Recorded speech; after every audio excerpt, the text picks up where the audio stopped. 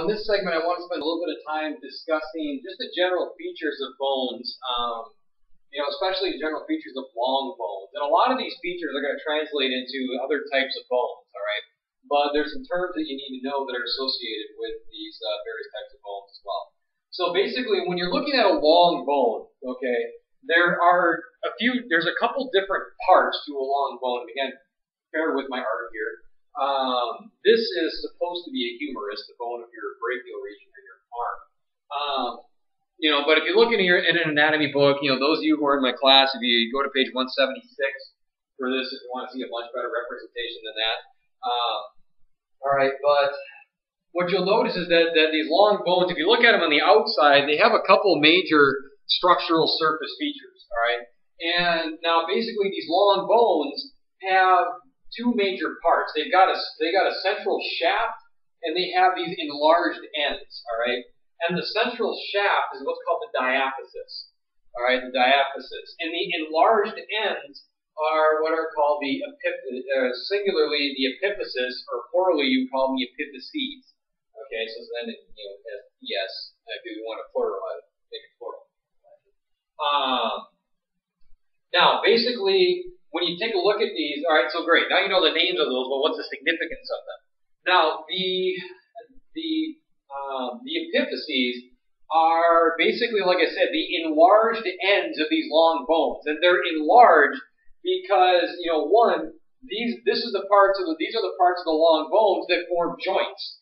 All right, where bones uh, come together to form movable joints. All right, and there is a lot of mechanical stress you know, being applied to these uh, to these ends of the bone. This, you know, these ends are where a lot of muscles attach. All right, and like I said in a previous video, very briefly, I, I introduced the concept of remodeling. All right, like I said, bones are constantly adding tissue and removing tissue from themselves. All right, and like I said, the more mechanical stress that you apply to a bone, the it's going to respond naturally by enlarging, by depositing more tissue.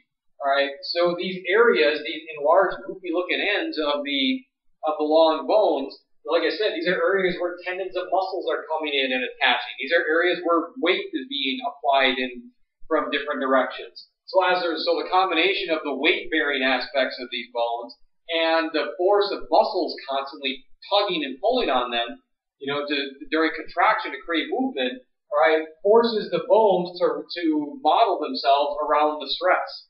All right, that's why you know whenever you see a bulge or a rounded off end, you know, a tubercle, tuberosity, trochanter, um, you know, the general, you know, kind of bumps and landmarks you see on bones, those are areas of stress. Okay, those are areas of mechanical stress, and that's why um, the you know the ends of all the long bones look different because there's different there there's different amounts of stress coming from you know uh, different numbers of muscle groups and also coming from different directions. All right. So those are the epiphyses. Now the epiphyses is, you know, like I mentioned in the previous video as well, um, about the shapes of bones, resemble the, the structure of this resembles that of a flat bone. All right. And you kind of go over to this image over here. This is basically, remember, flat bones are designed. Now it resembles it. It doesn't completely resemble it. But remember, um, flat bones have compact bone on the outside and then spongy bone on the inside. What's different about this is that you know flat bone is going to have another you know fairly thick layer of compact bone on the in on the on the, on the other side of the flat bone. Like I said, it's like a bony sandwich. Okay, now with the long bone, there's going to be kind of a thin layer of of structural bone here, but realistically, it's not. It, it's it's it's all spongy bone up here. Okay. Now, um, now basically, what you have here is on the outside you have compact bone. Okay, you've got compact bone and then all within the inner workings of this, this bulky end, you know, whether it's a head or a trochanter, a tubercle, whatever it is you're thinking about, there's spongy bone all in here, these porous networks. All right, and these pores, you know, the, the kind of the, the, the, the spaces created here are called trabeculae. Okay, trabeculae. Now, within these pores, within these spaces, you find bone marrow. Okay, so remember that these that these ends of the of these long bones are, you know, again, they're fairly strong, but they're also light.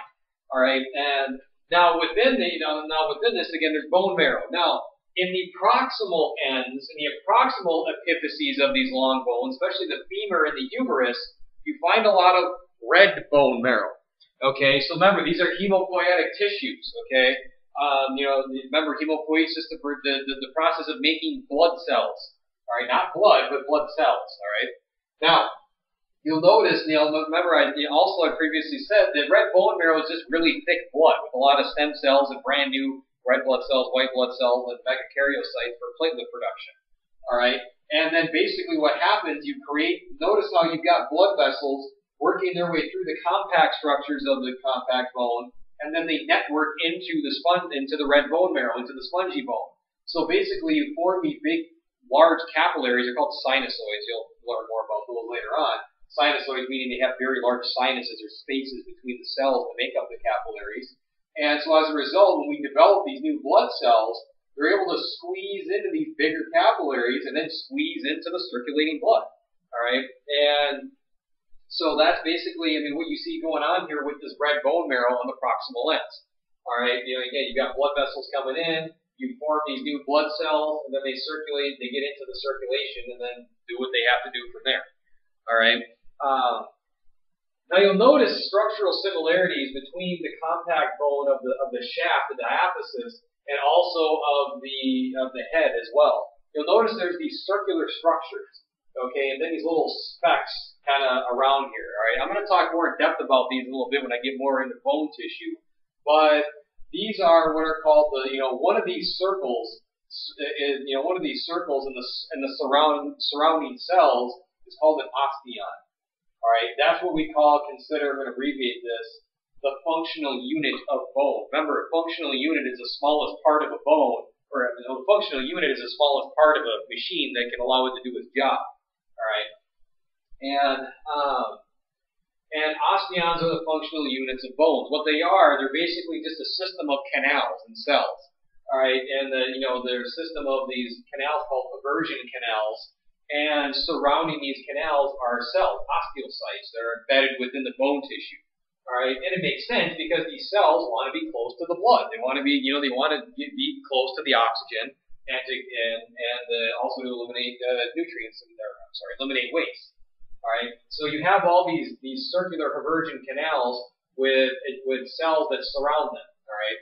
And um, and you know then you have a uh, you know I'm, I'm going to talk about that in another segment. But that's what compact bone basically is. Right. It's a, it's a big a canal network of blood vessels and nerves. Um,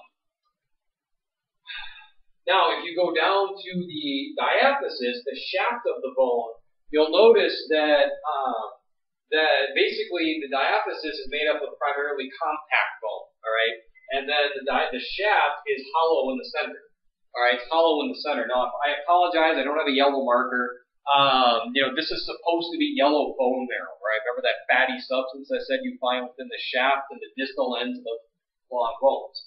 All right, so you've got yellow bone marrow in here. Like I said, it's just there taking up space. It makes the soup taste good when you cook with it.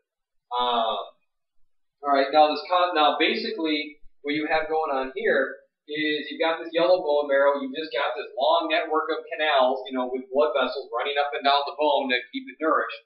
Um, and what was to say? Now, one thing about this compact bone is that, like I said, it's compact. It's a lot more dense than spongy bone. All right, so when you put weight on it, it's going to be very, very resilient to stress. Now, at the same time, though, bear, bear in mind this is a living biologic tissue it's not like a solid surface like a chalkboard or a tabletop. It does have some bend and flex to it. Okay, so you bear weight, you know, on the ends of these uh, of the of your long bones, and then that weight, that energy from that weight is transferred down the shaft. All right, and that shaft is going to have a little bit of bend to it. All right, but that's good because you know the more flexible the bones are, the more they can withstand the energy from the weight. All right. So that makes it so that that alone makes it you know a combination of the compact bone the, and still yet the flexibility of that bone makes it pretty tough to break. All right.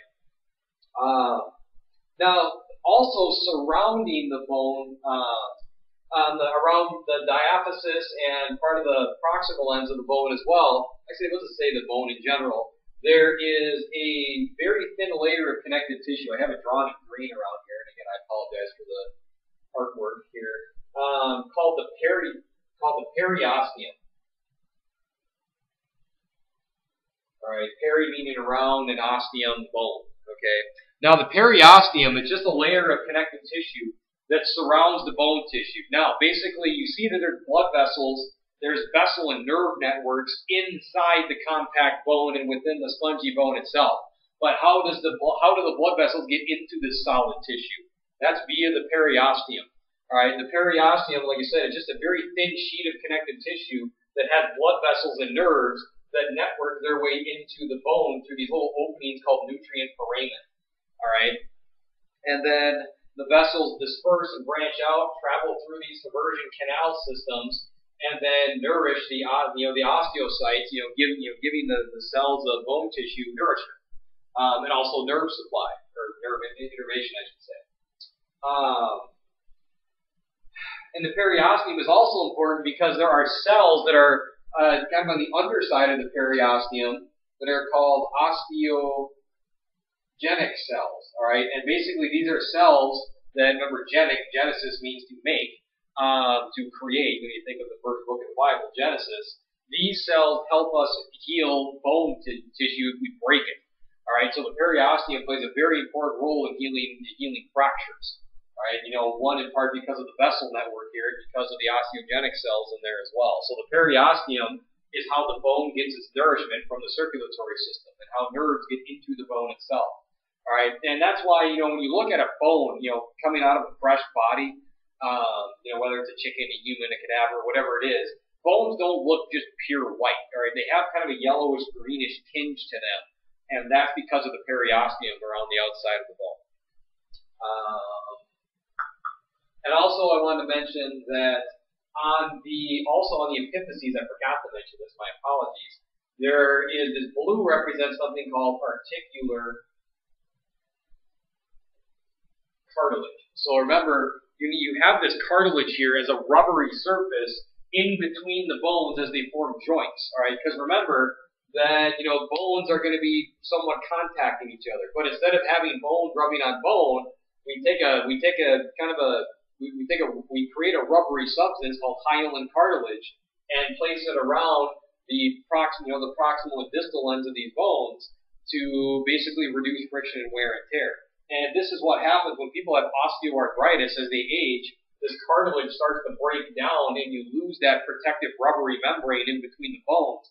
And then you start to have bone contacting each other. And that's why it hurts so bad. All right, because you know that's causing a lot of wear and tear and stress on the bone itself. All right. So that's the articular cartilage, the shaft, the compact bone, spongy bone. Um, you know, we already discussed you know, the structure of flat bone. Really, I mean, again, it's just two layers of compact bone with some spongy in the middle. And remember, we said there's a lot of hematopoietic tissue in there as well. But again, these are the general features of bones, especially of long bones. Um, you know, again, they have epiphyses, enlarged ends that are made up of, of compact bone and spongy bone, which makes it light. And also, this is where you find red bone marrow, at least in the proximal end. Distal end is yellow marrow.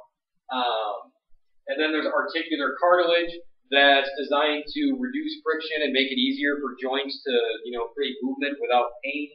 And then you've got in the center of, of these long bones, you've got what's called compact bone, or the diaphysis, I should say, the shaft.